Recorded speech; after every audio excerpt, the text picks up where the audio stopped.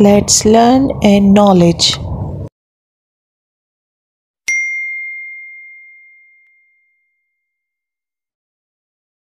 Now, every day when we talk, we say thousands of words.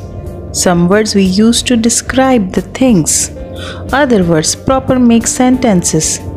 So, what is noun? Noun is a word that represents a person, places, animals, and things. Let's look at noun for person or people. Your name is a noun. It identifies who you are. Your friends, family members also have names. Their names are also noun as well.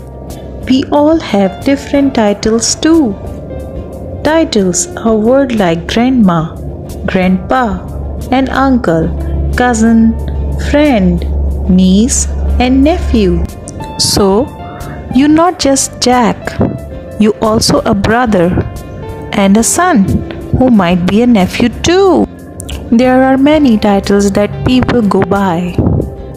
Some people are firemen, doctors, teachers, some are artists, entertainers, astronauts, and bakers.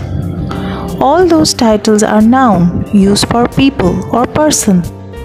Let's talk about places. You live in a home and you go to the school.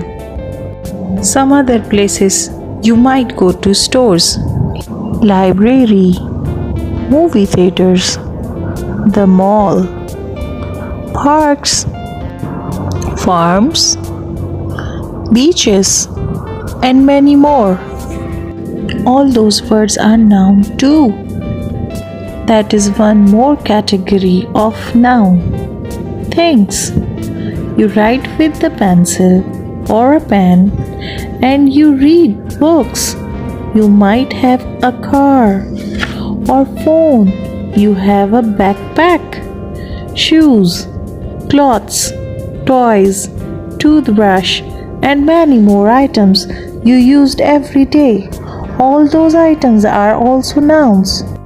Another category of noun animals.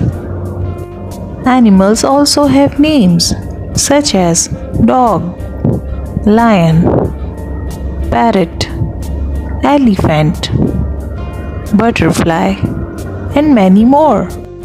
There are millions and millions of nouns because there are millions and millions of people, places, things in this world. Understanding and recognizing noun will help you better reader and writer. Hope you enjoyed the video. For more videos, please subscribe my channel and press the bell icon. Thanks for watching.